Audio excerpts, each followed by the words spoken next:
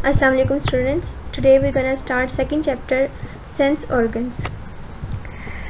You know बेटा, कि आपके इर्द गिर्द जो दुनिया है, वो बहुत इंटरेस्टिंग है अल्लाह ताला ने इसलिए हमें इस दुनिया को देखने के लिए पाँच सेंस ऑर्गन्स दिए हैं इन सेंस ऑर्गन्स के ज़रिए हम अपने इर्द गिर्द मौजूद तमाम चीज़ों को देख सकते हैं सेंस कर सकते हैं मतलब कि हम सुन सकते हैं टेस्ट कर सकते हैं, देख सकते हैं अब by using our sense organs अब हमारे वो सेंस ऑर्गन जो हैं, वो पाँच हैं। कौन कौन से हैं?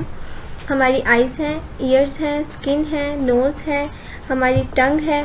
इनके ज़रिए हम क्या करते हैं? सेंस करते हैं चीज़ों को। और ये तमाम सेल जो हमारे सेंस ऑर्गन्स हैं, ये जाकर डायरेक्टली कनेक्टेड होते हैं हमारी ब्रेन के साथ। और ब्रेन से कनेक्ट होने के लिए इनका जो पाथ होता है, वो क्या होती है? नर्व्स होती हैं। अब सबसे पहले आज हम पढ़ेंगे अपनी आइज़ के बारे में। पहला सेंस ऑर्गन जो कि हम आज पढ़ रहे हैं दैट इज़ आर आइज़ अब आपको जैसे कि पता है कि आइज़ के ज़रिए बेसिकली हम चीज़ों को देखते हैं. क्लियर यानी कि आई जो है वो हमारा क्या है? एक देखने का ऑर्गन है. हम इससे ना सिर्फ़ देख सकते हैं, बल्कि हम ये देख कर बता सकते हैं कि डिफरेंट कलर कौन से हैं. ठीक है? हम ये भी देख सकते हैं कि चीज़ों के जो शेप्स हैं वो डिफरेंट हैं. या कोई चीज़ मूव कर रही है, या चीज़, कोई चीज़ रेस्ट पर है, हम ये भी अपनी आई के थ्रू देख सकते हैं. अब हमारी आई जो है, जो कि एक सेंस ऑर्गन है, इसलिए हमें इस आई के स्ट्रक्चर के बारे में पढ़ना है कि इसके अंदर ऐसी कौन सी अल्लाह ताला ने सेल्स बनाए होते हैं, ऐसे कौन से ऑर्गन्स बनाए होते हैं, कौन से ऐसे टिश्यूज़ होते हैं जो कि वर्क कर रहे होते हैं, ताकि हम अपनी आई को देख सकें। अब आपको पता है ऑर्गन जो होता है, वो कैसे बनता है? टिश्यूज़ के ज़रिए टिश्यूज़ के ग्रुप से बनता है। क्लियर अब हमारी जो आँख होती है, इसमें एक आई बोल होता है जैसे कि आप लोगों को पता है, और हमारी आई के ऊपर आई होता है। क्लियर हमारी आईलिड के ऊपर आईलिशेस होती हैं और इन आईलैशेस का क्या काम क्या होता है कि जो भी डस्ट पार्टिकल्स हैं उनको हमारी आँखों में जाने से बचाते हैं। और हमारी आईलिड के जो ऊपर वाला आ, हमारा ऊपर वाला जो आईलिड होता है उसके अंदर जो है वो टीयर ग्लैंड होते हैं जहाँ पर हमारी आँसू बनते हैं। ये हमारी आई का स्ट्रक्चर आप लोगों को दिखाया गया है। अब आप इसके डिफरेंट पार्ट्स देखें। ये आपके पास आपकी आई की सबसे जो ऊपर वाली कवरिंग है, इसका नाम उन्होंने कहा है, ये कॉर्निया है और आपकी आँख की झिल्ली होती है, जो बारीक सी आपकी आँख के ऊपर होती है, इसे बोलते हैं कॉर्निया इसके अलावा आपके पास है प्यूपल की छोटी सी ओपनिंग होती है जहाँ से लाइट एंटर होती है आपकी आँख के अंदर।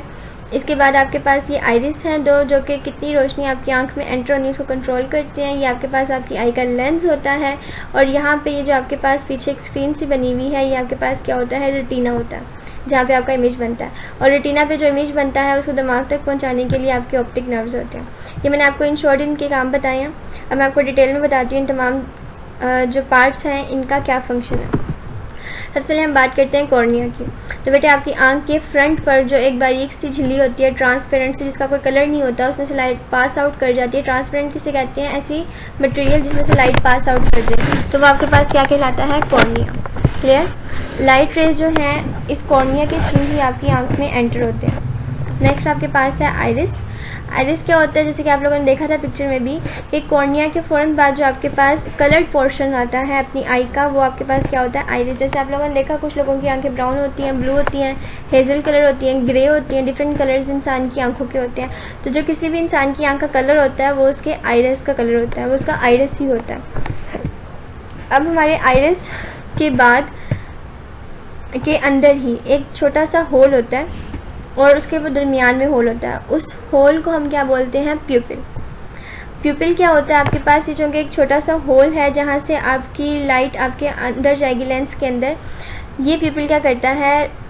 बेसिकली रोशनी को कंट्रोल करता है कि आपकी आँख में कितनी रोशनी जानी चाहिए। जब आपकी आँख में अगर बहुत ज़्यादा रोशनी जा रही हो, यानी कि ब्राइट डे लाइट में आपकी आँख के अंदर रोशनी जा रही हो तो प्यूपिल जो है वो क्या कर देता है, अपने आप को कॉन्ट्रैक्ट कर देता है। मतलब वो जो ओपनिंग है, छोटा सा सुराख है, वो क्या हो जाता है, छोटा हो जाता है कॉन्ट्रैक्ट हो जाता है। और अगर डिम लाइट हो तो आपकी आँख का जो प्यूपिल है, वो क्या हो जाता है एक्सपैंड हो जाता है, बड़ा हो जाता है। जैसे आप लोग खुद नोट करोगे, अगर आप अंधेरे में जाते हो तो आपकी आँख का जो प्यूपिल है, वो फैल जाता है। और जब आप एक ब्राइट डे में जाते हो तो एकदम से जब आपकी आँख में रोशनी पड़ती है तो आप क्या करते हो, अपनी आई के पीपल आपका जो है वो कॉन्ट्रैक्ट हो जाता है।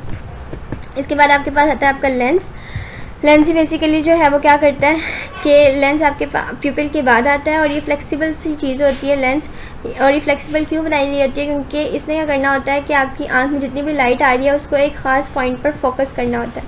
और उसको फोकस करने के लिए ही वो अपनी जो कर्वेचर है लेंस वो अपना चेंज करता रहता है, जिसकी वजह से उसको फ्लेक्सिबल होना ही होता है।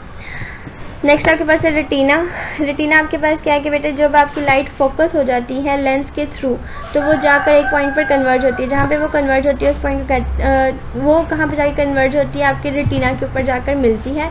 और रेटिना के ऊपर जाकर वो क्या करती है, एक इमेज बनाती है। जो आई का लेंस है, उसने रेटिना के ऊपर इमेज बना दिया। क्लियर नेक्स्ट आपके पास फिर क्या होगा कि आपके रेटिना पे जो इमेज बन गया हुआ है, अब वो क्या होगा? रेटिना के जो सेल्स होंगे, उस इमेज को कन्वर्ट कर देंगे नर्व सिग्नल्स के अंदर और वो नर्व सिग्नल्स जो हैं, वो आपके ऑप्टिक नर्व्स के थ्रू ब्रेन तक पहुँच जाएँगे और आपका ब्रेन उसको रीड कर लेगा। क्लियर अब आप फ़ंक्शन देखें आई का किस तरह से आ जाता है? सबसे पहले लाइट रेज होती हैं, वो कॉर्निया सेंटर हुई प्यूपल के अंदर से पास हुई। जो कि एक स्मॉल ओपनिंग है, उसके बाद आपकी लेंस में गई, वहाँ पे उसने उसको फोकस किया, फिर रेटिना पे जाके इमेज बना, जो इमेज बना, उसके सेल्स ने उसको ऑप्टिक नर्व्स के थ्रू ब्रेन तक पहुँचा दिया। क्लियर अब इंटरेस्टिंग इफेक्ट्स जो हैं, वो क्या हैं? कि आपकी जो आई है उसका जो लेंस होता है, बेटा वो अपनी शेप को चेंज कर सकता है।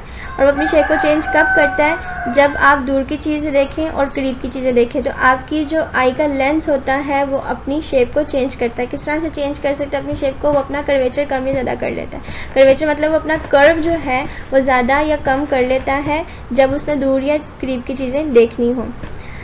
जब उसने करीब की चीज़ें देखनी हो तो आपका आई लेंस ठीक हो जाता है, बारीक हो जाता है, पतला हो जाता है।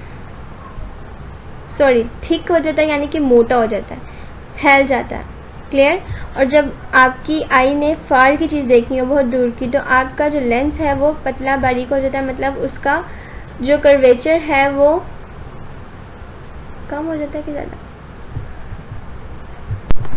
थिन होने का मतलब है कि उसमें इतना कर्व नहीं रहता। डू यू नो यहाँ देख लें, हमारी आई जो है, वो कैमरा से बहुत ज़्यादा सिमिलर होती है। कैसे सिमिलर होती है? आपके कैमरा में भी एक लेंस लगा होता है, आपकी आई में भी एक लेंस लगा होता है, ठीक है? इसी तरह से आपकी आई में जो इमेज बनता है, वो जाकर रेटिना पे बनता है, आपने अभी पढ़ा। इस तरह से कैमरा में जो इमेज जहाँ जाकर बनता है, वो एक फ़िल्म पे बनता है, जिससे आप कह सकते हैं कि वो फोटोग्राफिक फ़िल्म होती है। आपने इस पूरे क्वेश्चन को क्वेश्चन को याद करना है। ये एक लॉन्ग क्वेश्चन है आपका आई के बारे में। ये आपने आई से स्टार्ट करना और उसके पार्ट्स तक यहाँ तक ख़त्म करना